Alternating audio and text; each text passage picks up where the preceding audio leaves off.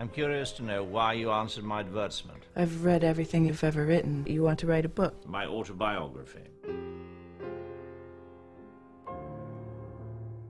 I'm going to need someone who can be my eyes.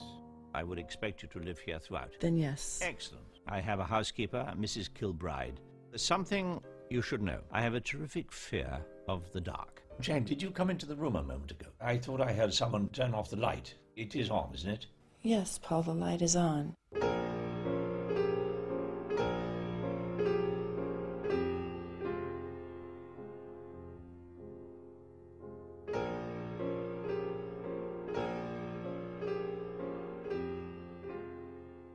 Somewhere here, there should be a plate on the wall. It's dedicated to a James Watt.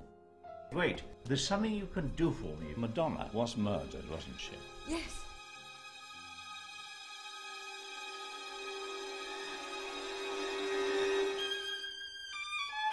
Mrs. Kilbride! Mrs. Kilbride already left. I told her to take the week off. You did what? Who am I supposed to call? My agent. Where is he? Southeast Asia and then back to the States, I guess not back till the month. Perhaps another log on the fire. Why is it only now that I'm hearing about this new masterpiece? Well, I did try to call you about three weeks ago. So why didn't we talk? Well, because you were away. I don't know who you spoke to or what they told you, but I mean, I haven't been out of the country since the Frankfurt Book Fair, I mean, last year.